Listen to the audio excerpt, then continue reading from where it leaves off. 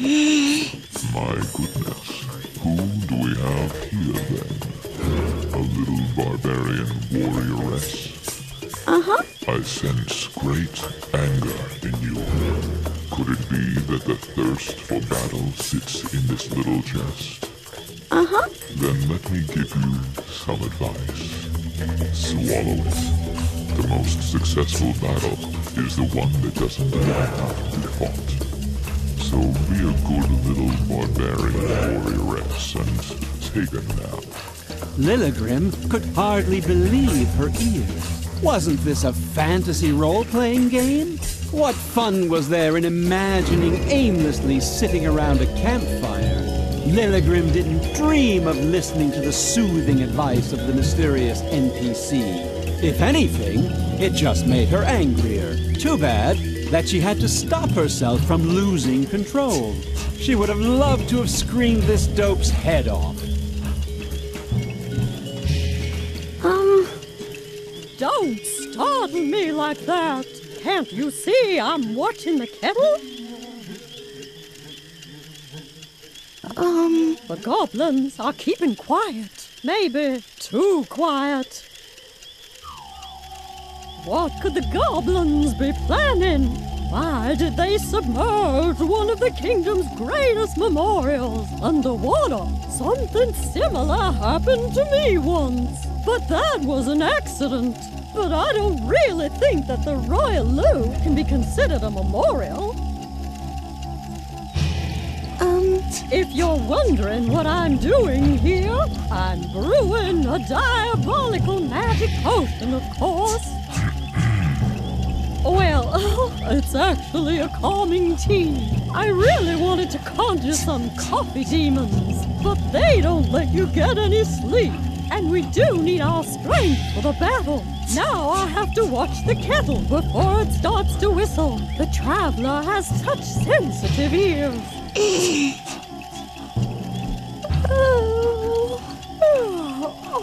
Please don't yawn so much around here. Don't you know how contagious that is? And I have to watch the kettle. Oh, if you're staying up anyway, do you think you could watch the kettle? uh-huh. Oh, great! Then I can finally get some sleep. As you know, we need our strength for, oh, oh, for the battle. Oh.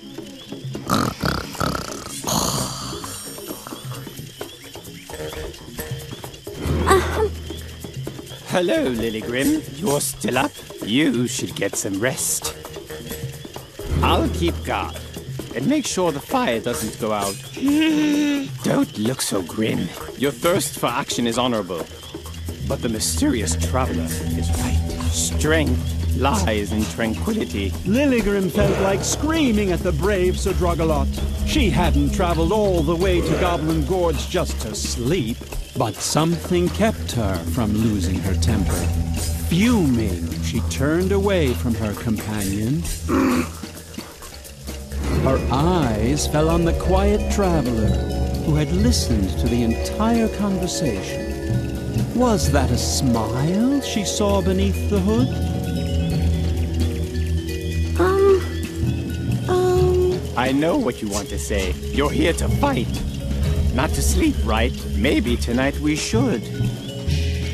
Remain calm and gather our strength. That's what you wanted to say, right? The traveler is right. Acting in haste is never a good idea. Don't worry, I'm sure the goblins won't attack us tonight. They're guarding their reservoir dam in the gorge. But I do wonder what their plans are, damming up the Pink River and flooding the Valley of Unpleasant Memories. Why? It's all very mysterious.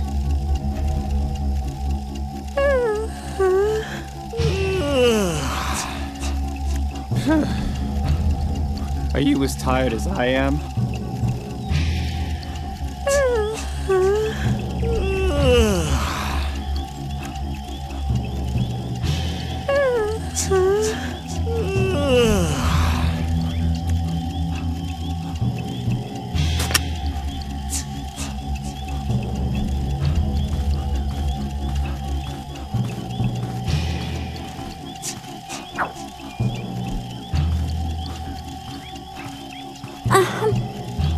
Hello, Lilligrim. Would you like to be amused by my funny pranks? Then watch me. And are you amused? Um, Yes. It doesn't just look like it. I am actually juggling only one ball. And I know how ridiculous that must seem. My character sheet said that I.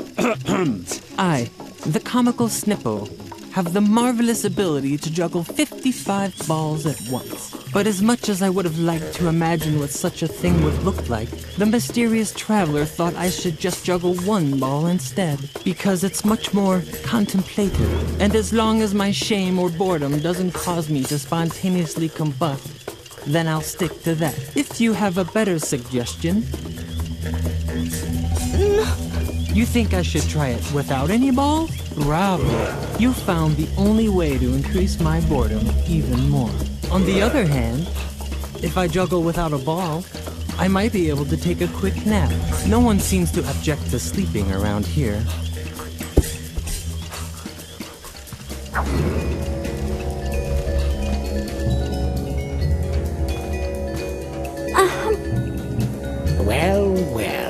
Is that the legendary army of Hoth Mortigor?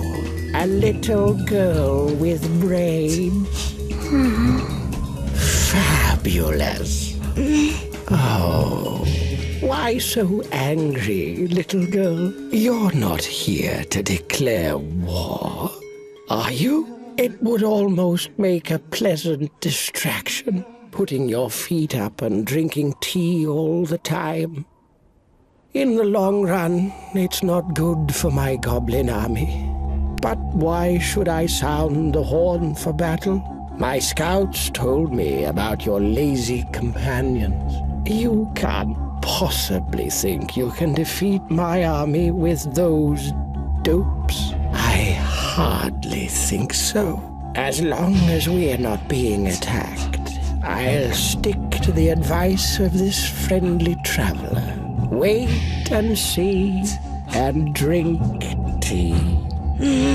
Lilligrim was boiling with rage. She was very close to throwing a tantrum, but something was holding her back.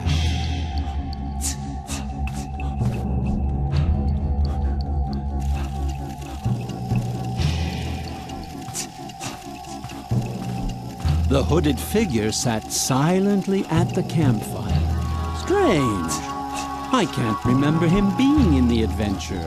Which source book does he come from? You see a large cauldron. Roll for perception. You discover a safety valve.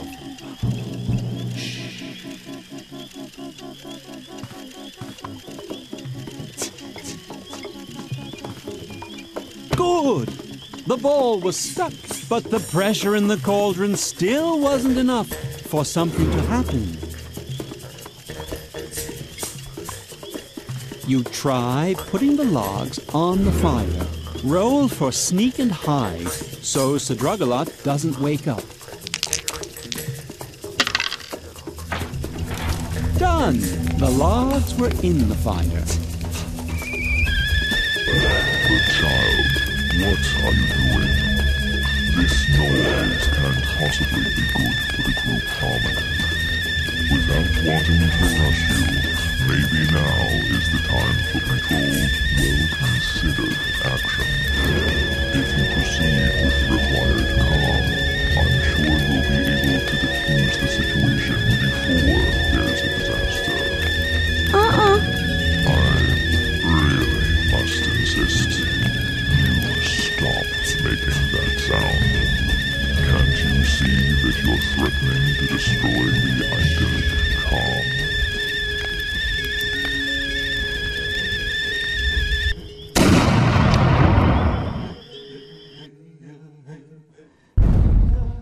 But that's to arms! They've declared war on us! Sound the horn!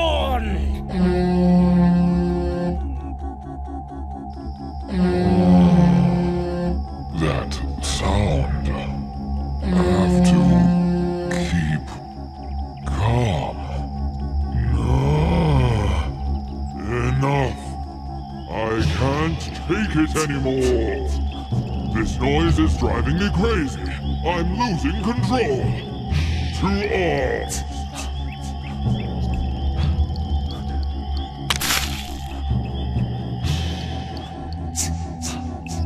Finally, the fun part of the role playing game began. The group stormed the battlefield with no restraint.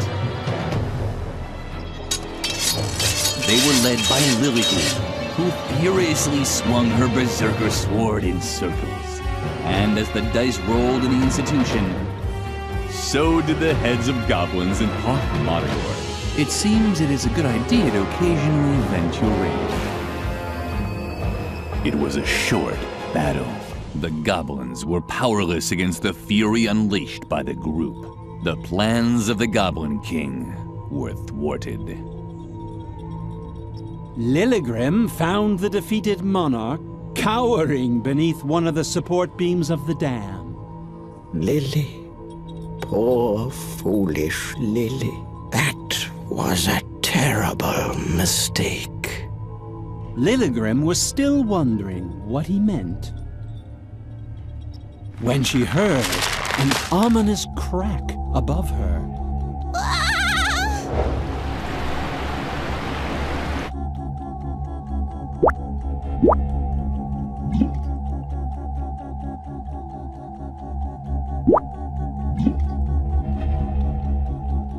When the pink floods had subsided, our heroes were faced with an incredible sight the Valley of Unpleasant Memories. Will you look at that? I have to admit, I'm really blown away. We shouldn't be here. Ha! You've always been quite the comedian, Snippo. No, I mean it. This valley is cursed. I heard that. Wait a second. Lily? What's wrong with her? Do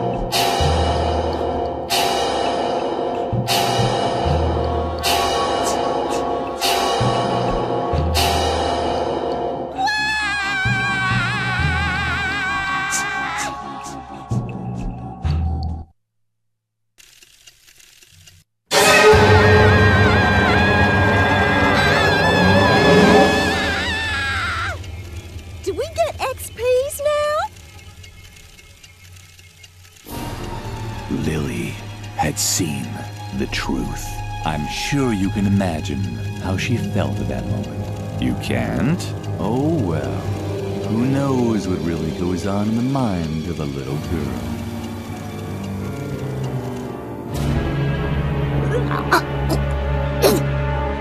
You feel all right, little girl? little girl? Hello? Mm, uh, are you okay? I was worried, you know? Brr. Am I crazy, or did it just get colder in here?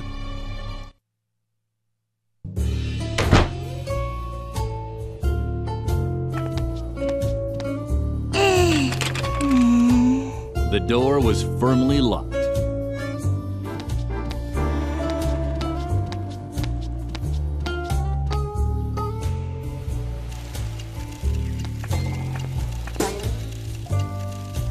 You? It's so depressing. I'm supposed to award experience points to improve a talent. Expressive dance, making music, lockpicking. I don't actually want to be able to do any of those things. Isn't there a talent such as accepting one's fate? Or assigning experience points without experiencing an existential crisis? Peter's dithering made Lily furious. Couldn't the notorious whiner make even the most basic decisions? Lily would have liked to smack him across the face, but something held her back.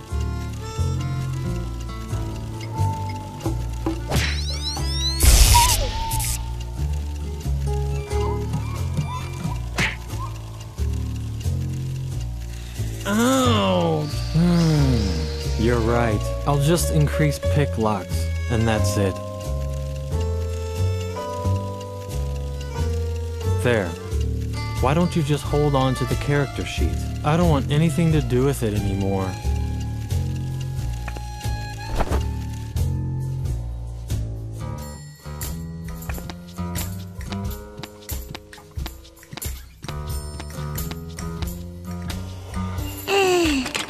The door was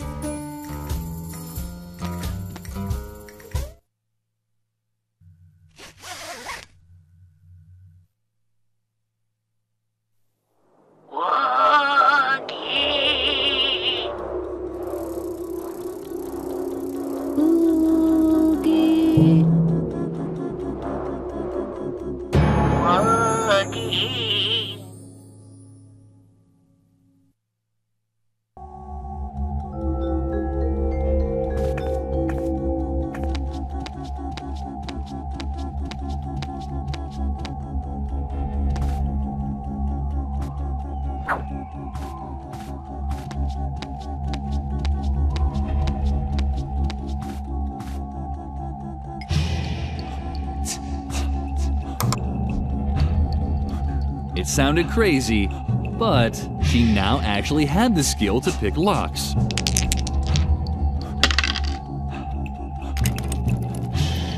Done. The gate was open. She wondered if.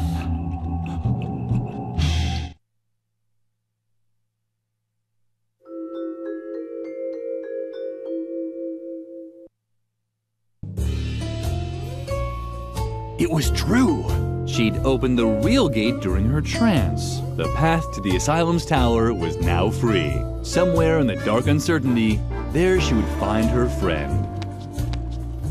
Without really thinking about it, Lily took the stuffed rabbit with her. If she was going to enter Dr. Marcel's realm, she didn't want to do it alone, like she usually did.